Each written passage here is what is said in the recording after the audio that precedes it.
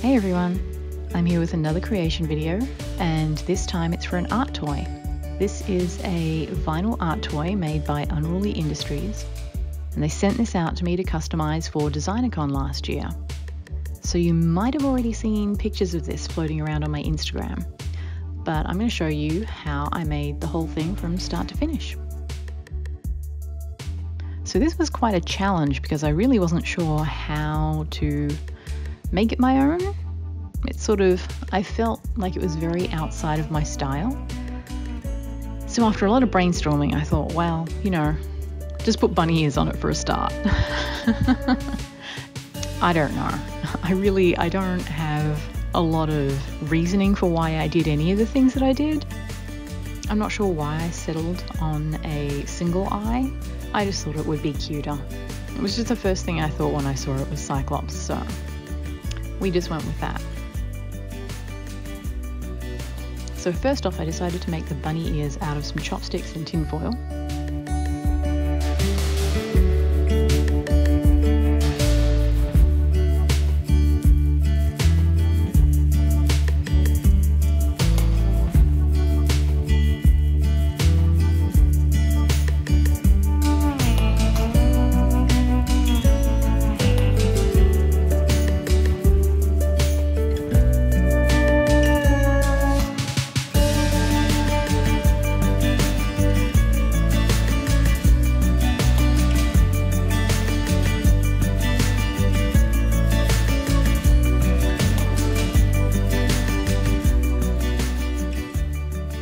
So I had to cut a hole in the bottom of it so that I could get inside it to be able to insert the eye and also affix the ears.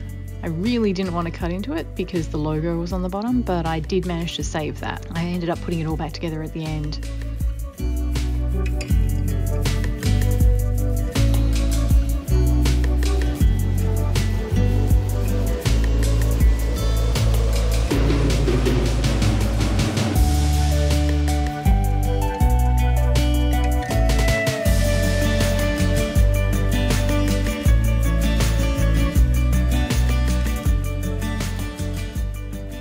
So the eyeball that I'm using is just a ping pong ball.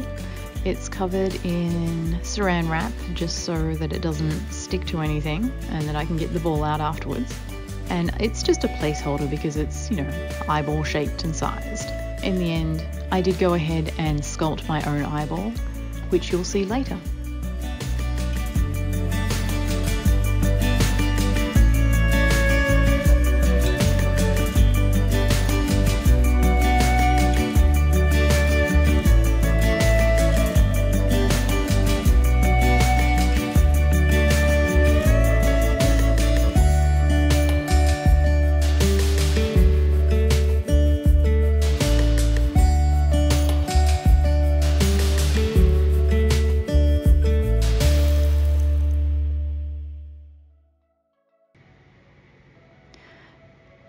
Also had this little design on his tongue.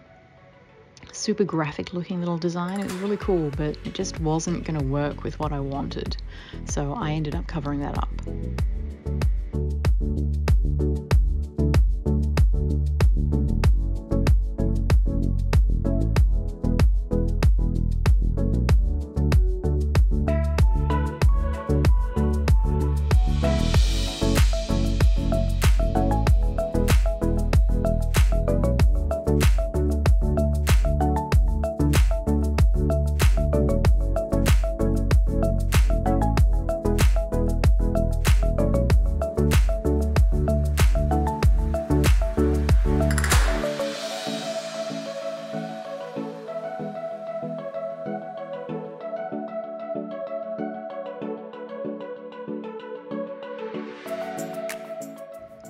And once I got everything sculpted and looking the way I wanted it, then it was time to start painting. I used a mix of different paints, mostly Arteza paints for this, just because that's a really wide variety of colours and I had decided I wanted to do a rose pattern on the little latex suit. So first off I just went in and I darkened the cracks and the crevices so that after I airbrushed the skin on there wouldn't be any little missing bright bits in there.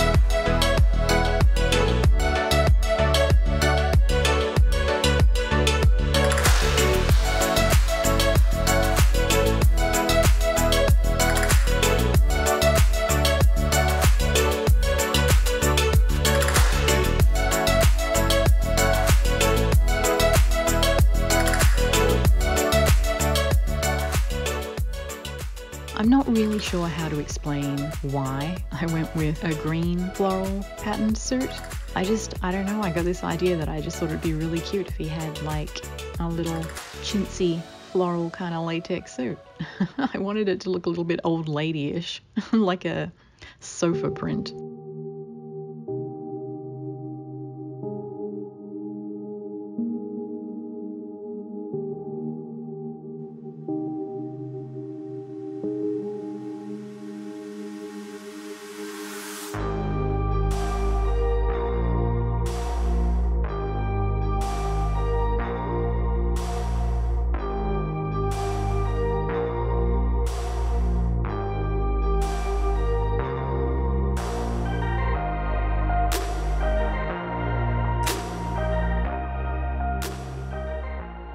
Making the eyeball was definitely a challenge. I decided I'd make a cast of the base shape of the eyeball so that in case I had to make it again, I could just cast up another one really quickly. This turned out to be a really good idea because I did make it twice. the first one did not come out the way that I wanted it to.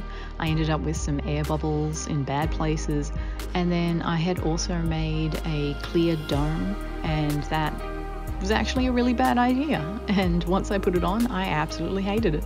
So there was no way to get it off because I had attached it with resin, so I had to just remake the eye.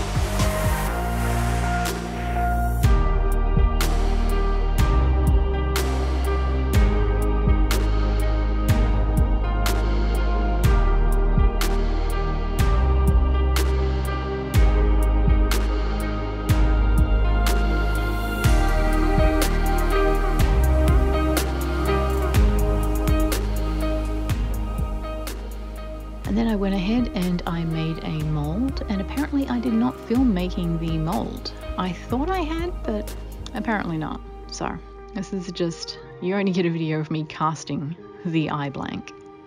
And this is Smoothcast 300 that I'm using. It's just a plain bright white resin.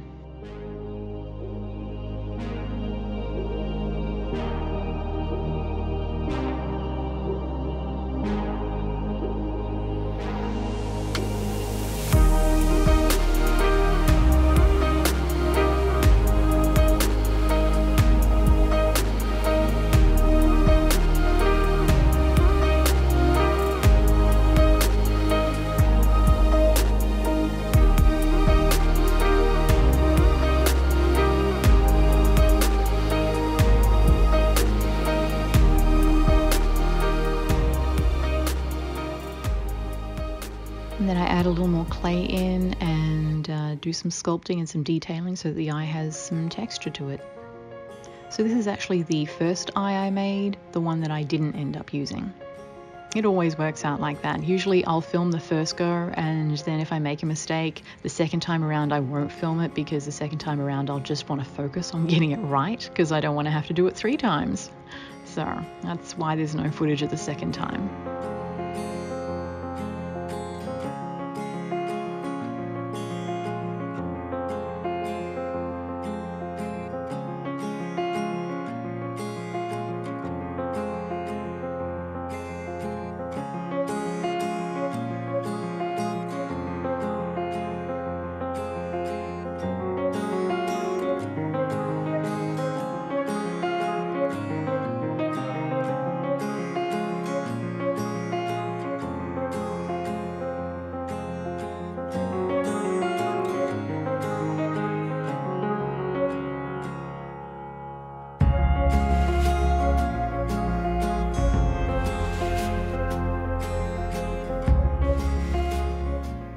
And I used this UV curing clear resin to make the clear dome. I think I got it from Daiso. I'm not actually sure where I got it from. I have a couple of them, but they're really great because they cure under UV light. So it's a very fast cure, so you can just sort of get it done really quickly.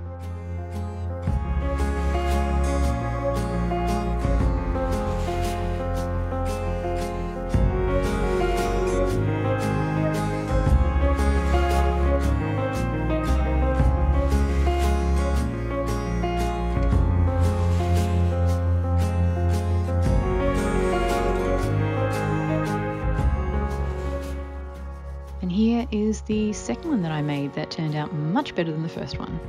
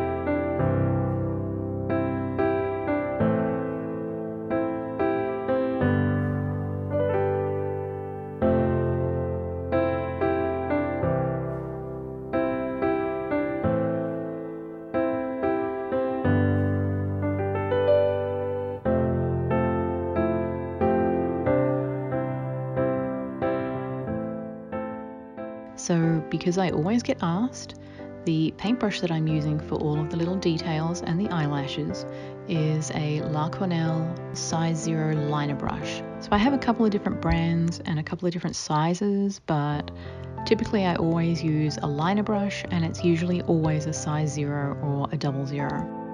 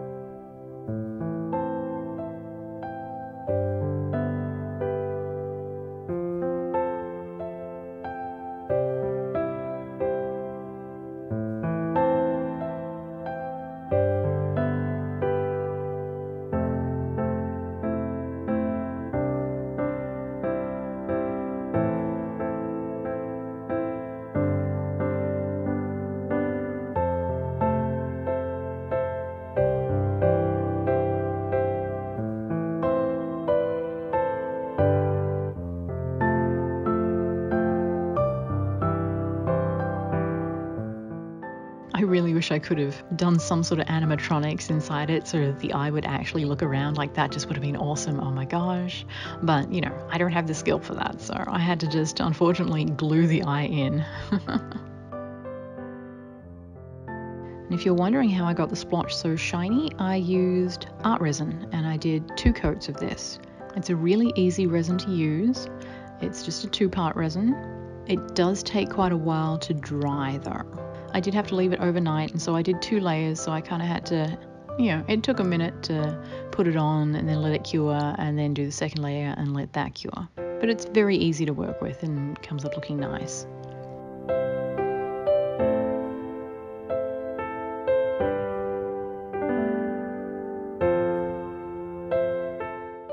So I will leave links below to Unruly Industries website where you can go and check out their splotch. It's designed to be customized. I'm not sure if they have pictures of the show up. They might do. It was a really cool show. There were some really amazing customs there. I was so honored to be a part of this show. It was really an amazing experience.